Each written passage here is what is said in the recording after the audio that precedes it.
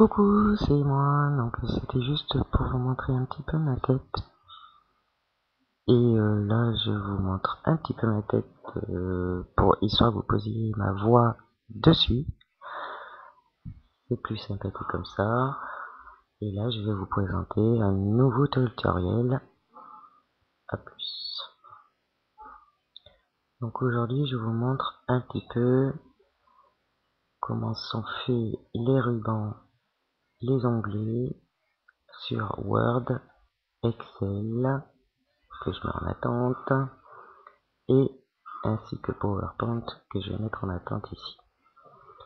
On va commencer par Word, que je lance. On avait déjà vu ensemble le bouton Office sur Word, ainsi que les barres de raccourci rapide qui concernent particulièrement le bouton Office.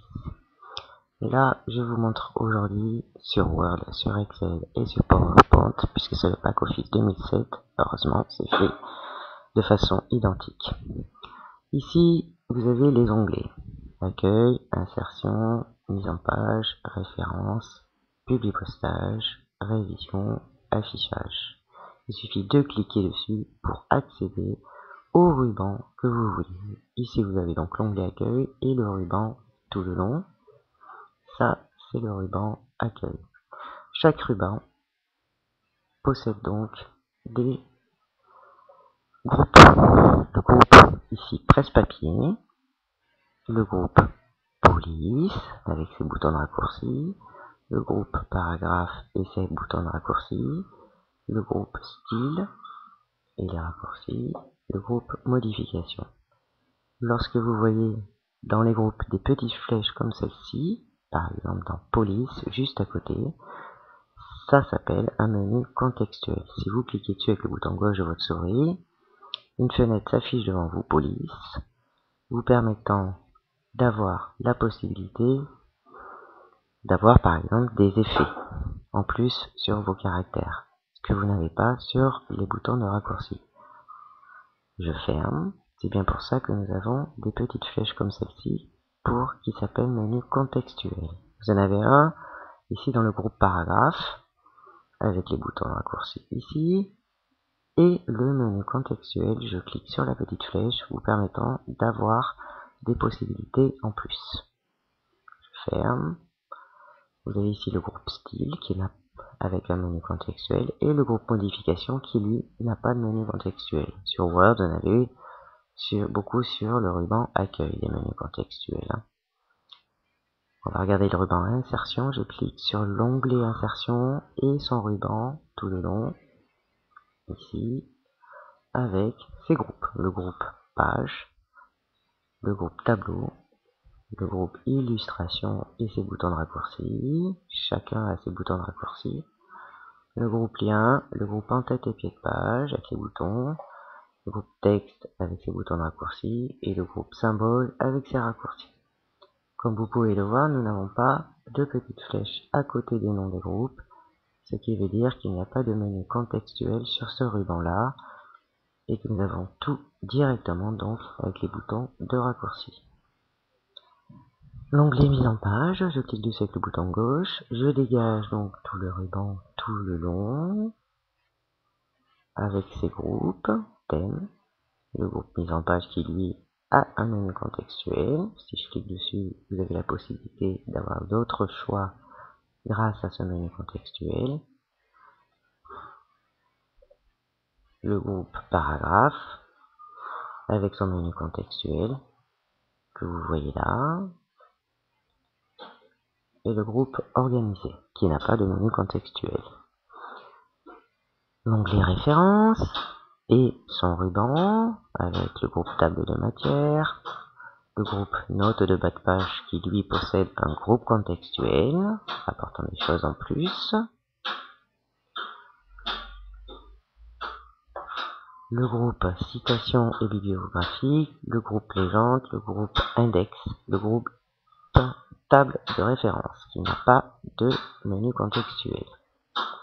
On va regarder l'onglet Publipostage, je clique dessus et je dégage tout le ruban qui se trouve tout le long de cet onglet Publipostage. dans cet ruban, donc vous avez le groupe créé, le groupe démarrer la fusion et puis postage et ses boutons de raccourci, le groupe champ d'écriture et d'insertion avec les boutons de raccourci, le groupe résultat, le groupe terminé. Et il n'y a pas de menu contextuel sur celui-ci. L'onglet révision et ses groupes. Avec le ruban.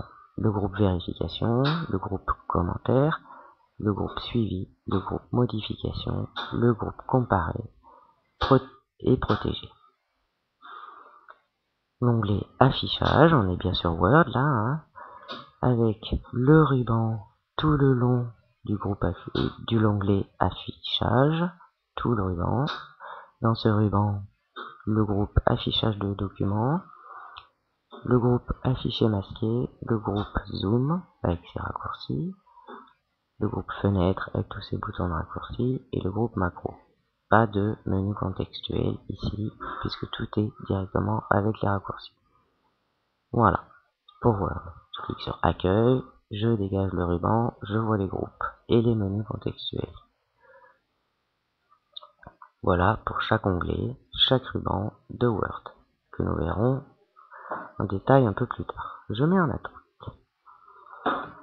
Comme vous pouvez le remarquer, je vais lancer Excel, que j'agrandis à la taille de mon écran, et le principe de base est le même. Le bouton Office ici, que nous avons déjà vu, et ces raccourcis ici que nous avons déjà fait. Le principe de base est le même, vous avez des onglets qui, sur l'onglet accueil, le ruban tout le long, le ruban d'Excel évidemment, hein, d'accueil d'Excel, avec, comme sur Word, le groupe presse-papier, le groupe police et ses raccourcis. Vous voyez que dans le groupe police, vous avez aussi un menu contextuel. Je clique à gauche sur la petite flèche et vous avez devant vous une fenêtre qui apporte des choses en plus que les boutons de raccourci ici. Voilà, donc voilà à quoi servent les menus contextuels, vous apportant des choses en plus que ce qu'il y a là. Vous avez le groupe alignement, comme avec les boutons de raccourci ici. Et vous voyez aussi un menu contextuel, je clique dessus, vous apportant des choses en plus qui ne sont pas sur les raccourcis. Même principe que dans Word. Le groupe nombre, qui possède aussi son menu contextuel vous apportant d'autres choses, standard, monétaire, etc., etc. On verra ça un petit peu plus tard. Alignement, police. Vous apportant des choses en plus que ce qu'il y a avec les boutons de raccourci là. Le groupe style, le groupe cellule, le groupe édition. Ceux-là n'ont pas de menu contextuel, comme vous pouvez le voir. On va regarder l'onglet insertion sur Excel. Je clique sur l'onglet insertion et vous voyez ici tout le long le ruban d'insertion avec le premier groupe tableau qui n'a pas de menu contextuel puisque tout est sur place, déjà avec les objets et les icônes de raccourci. Le groupe illustration, identique avec les raccourcis directs, sans menu contextuel. Le groupe graphique qui lui possède ces boutons ici, mais qui vous apporte un menu contextuel là. Je clique dessus, vous apportant d'autres possibilités de graphique que vous n'avez pas dans les raccourcis. Le groupe lien, le groupe texte, même principe l'onglet mise en page, je clique sur l'onglet et je dégage donc tout le ruban de mise en page sur Excel. Avec le groupe thème, pas de menu contextuel, les raccourcis sont déjà là. Le groupe mise en page avec les raccourcis, vous avez là qui possède un menu contextuel vous apportant d'autres choses. Le groupe mise à l'échelle qui possède aussi un menu contextuel vous apportant autre chose, le groupe options de feuille de calcul ayant aussi un menu contextuel pouvant vous apporter d'autres choses, on le verra plus tard, et le groupe organisé qui n'a pas de menu contextuel. Voilà, pour les onglets formule, le ruban, sachant que l'onglet formule, je vous montrerai aussi comment on l'utilise dans le ruban accueil. Le l'onglet données avec son ruban et ses groupes, le groupe données externe, le groupe connexion, le groupe trier filtrer, le groupe outils de données, le groupe plan, le seul ici qui possède un menu contextuel.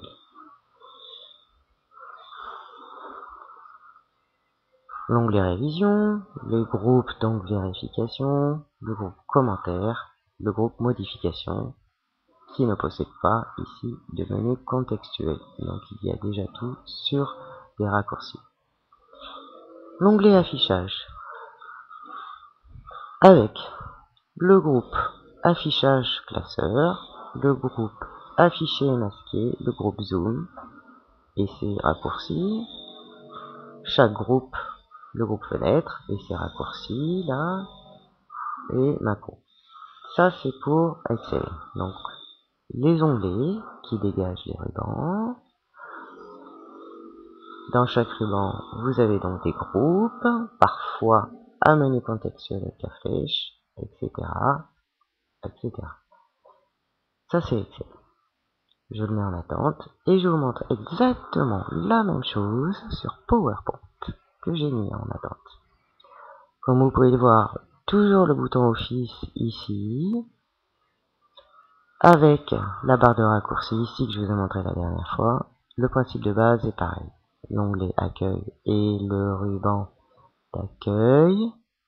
Dans le ruban, le groupe presse-papier, le groupe diapositive, le groupe police avec les boutons de raccourci et son menu contextuel apportant des choses en plus. Le groupe paragraphe, les boutons de raccourci et le menu contextuel pouvant apporter des choses en plus tout comme dans Word ou dans Excel.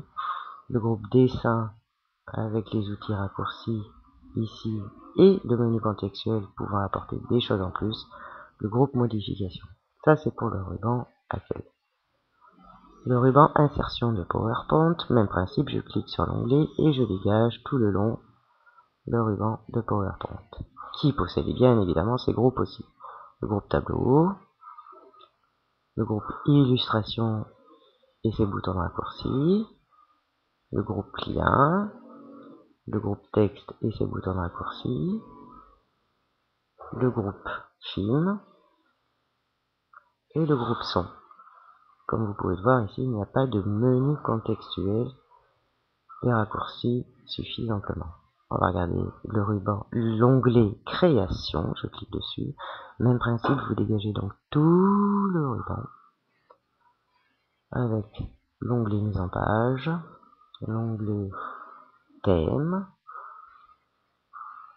l'onglet arrière-plan, le seul ayant un menu contextuel vous apportant d'autres choses que les raccourcis. L'onglet animation. Je clique sur animation et je dégage le ruban d'animation. Avec le groupe aperçu, le groupe animation et ses raccourcis, le groupe accès à la diapositive avec tous les boutons de raccourcis ici, le groupe pas d'autre groupe pour l'onglet animation.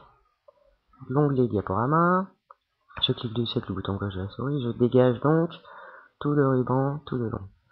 Dans le ruban diaporama, on a donc un groupe démarrage, excusez-moi, configuration, moniteur, etc., etc.